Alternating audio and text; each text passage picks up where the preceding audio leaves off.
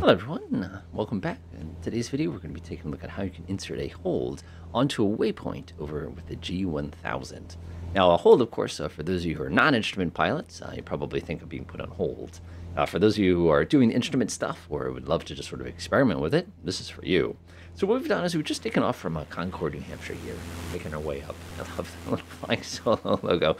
I don't know if I love the blue livery yet. I'm still kind of getting a hand of that. But what we're going to be doing is uh, we're going to be making ourselves a couple little waypoints here. And we're going to insert some holds at those waypoints uh, so we can experience a little bit of all the fun that comes with it. So what I'm going to do is I'm going to quickly construct myself a flight plan here. I'm not going to worry about that. I'm going to set myself an en route destination real quickly here. We're just going to go ahead and uh, we're going to use Gardner, Massachusetts, uh, which is a little ways away, but it's nothing too, too bad. And then, of course, uh, we're going to add another one to, again, almost like our reverse of what we did last time here. We'll do BAF, which is going to be Barnes. And, of course, uh, what we'll do is our destination is we'll go ahead and pick in Hartford here. Keep things uh, nice and simple for us today. KHFD, enter, enter. Nice. Boop. And now we have ourselves a pretty solid little plan here, and I'm pretty happy with that. Uh, we don't need to suspend. We're pretty good to go. Uh, we probably want to do direct Gardner real fast, though, just to kind of get us going. So we'll come over here. We'll click on that. So we GDM, which is going to get us kind of going on the way. Enter, and we're going to hit the activate button. We'll also go ahead and switch on navigational hold mode, which is going to get us uh, kind of rotating over to the other side. Now, people are wondering, um, how is it that uh, the plane just kind of did what I did last? It's uh, one of the great things about the autopilot on most planes is uh, when you push the AP button, it tries to hold the wheel. So if you're nice and level like this with a nice little pitch up of about seven and a half degrees, it basically is just going to hang on to that, which is awesome. So we're proceeding direct uh, to Gardner, Mass. Here, it's pretty far away. It's about it says 30 minutes, but don't worry, I have time acceleration. I'm not too too worried about it. We'll fast forward when we need to. And what I want to do is I want to insert a hold at Gardner. Now holds are pretty dandy little things. They're basically you know, kind of be this big old racetrack pattern in the sky that's kind of try to keep us basically in one position for a little while while we have to get something set up, for example.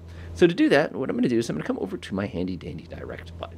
Now, when you press the direct button, uh, some people, of course, like menu. Uh, don't worry about that. I'm going to press the direct button, menu. No, that's not going to do anything. You'll notice in the bottom right corner, there's this little thing that says the word hold. So what I'm going to do is I'm going to come down here. And of course, in the G1000, the other ones is you can actually come in here and deny, dial it in. Now, this handy dandy little thing here is the course. Uh, this is basically how we're approaching our particular target. Now, right now, I want to kind of leave this alone. I don't want to be messing around with this too, too much. But what I'm going to do is I'm going to come over to this button. This is the word hold. Uh, by the way, if you're wondering how I'm manipulating this, you've got the big knob for pages. The little knob is for changing values. As long as you always think about it like that, you'll always be able to keep them separate. So I'm going to come over to this little piece. This is the word hold, and I'm going to press the enter button.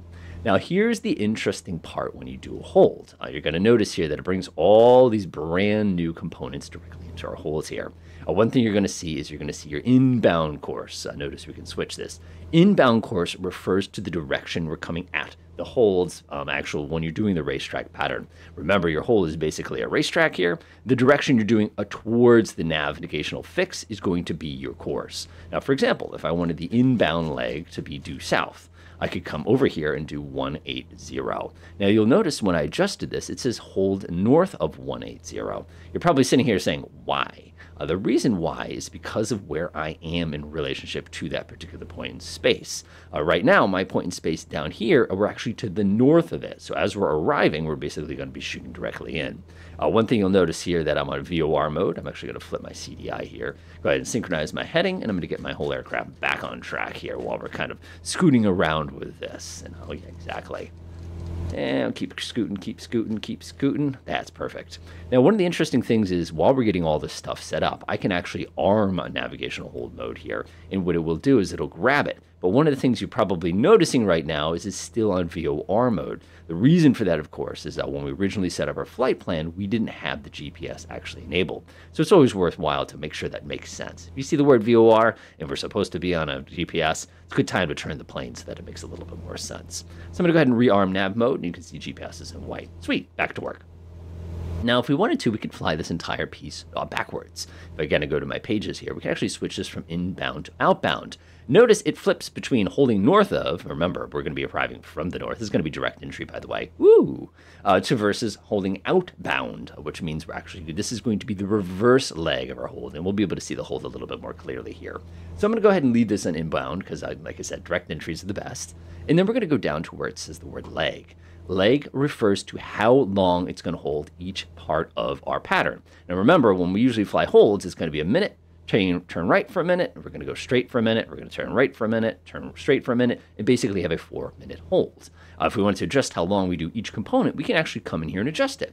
For example, if I wanted to make two minutes be the length of each one of my legs, that means we're going to be going two minutes, minute, two minutes, minute, basically, which is going to have an interesting impact on the whole shape of everything. And it's going to make us cover quite a bit more distance when we do that. Now, if we want to, we can actually come in here and put a 30 second hold in, but that's a little involved because once you get less than a minute, your standard rate turns are not as standard rate as they were earlier.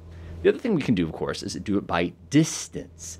Distance is awesome because distance, of course, as you know, is not going to be impacted by wind because we're using a GPS in here to make our life a little bit easier. When we set this to distance, if we want to do a four mile whatever, it's going to give us four miles every time, regardless of what we're actually going to be seeing elsewhere. Uh, this is actually pretty good altitude. I'll go ahead and level ourselves out here. Level off, level off. altitude, altitude. You know how that goes. So what we're going to do here is uh, we're going to go traditional. We're going to do time. We're going to do one minute. The last thing we can do are going to be turns. This is going to be the directions that we're actually going to be turning our aircraft once we get to our particular destination. The standard is right turns, uh, but there are many holding patterns out there in the world that are actually left turns. Uh, if it is a left turn, you can just do one of those and go ahead and adjust it. I'm happy with that. I'm going to come down here and just going to say this thing. This is the word load. I'm going to go ahead and press the load button here. And what that will do is that will actually create that holding pattern at that destination. You can actually see it right now. Let me zoom in just a little bit here.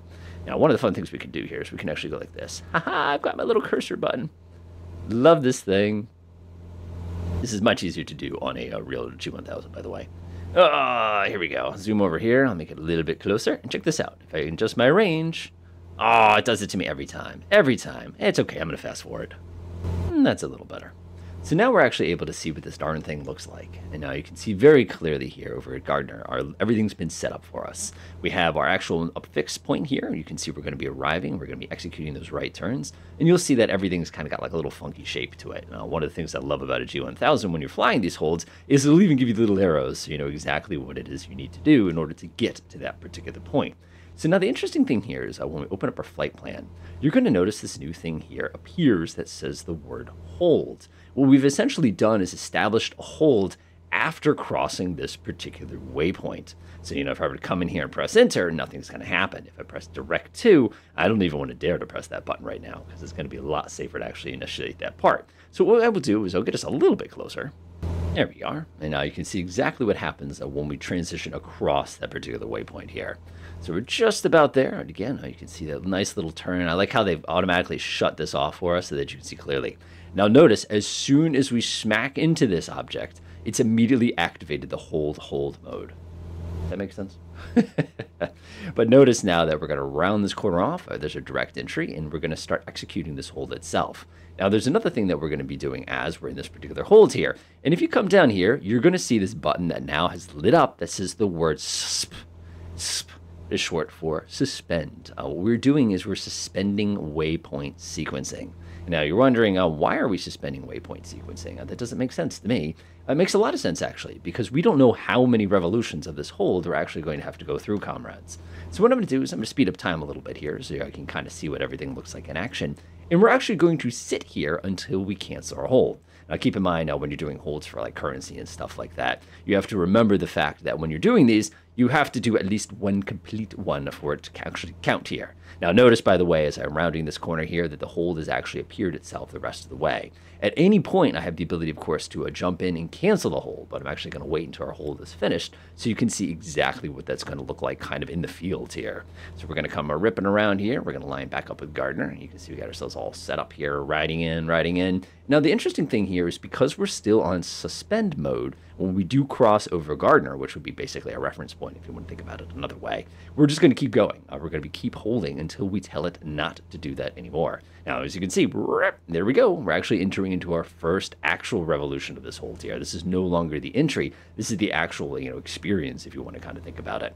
So let's say we go ahead and get some uh, call back from air traffic control. Uh, they go ahead and say, all right, y'all, you can proceed on course, kind of a thing like that. You don't need to sit there uh, doing power donuts in the sky. This is not NASCAR, because we all know NASCAR would be left turns anyway.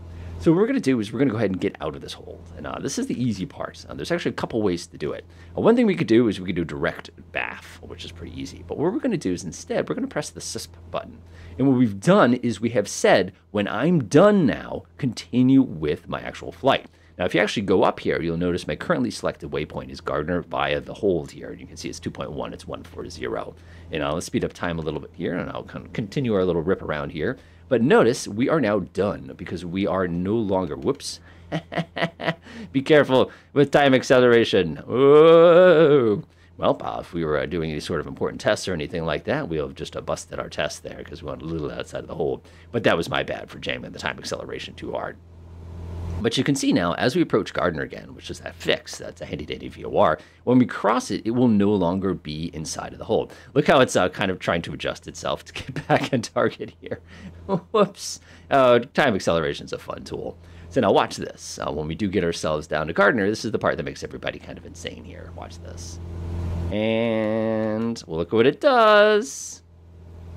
Crosses over the edge of the hole. Ding! And you can see we're now back on course to our next waypoint.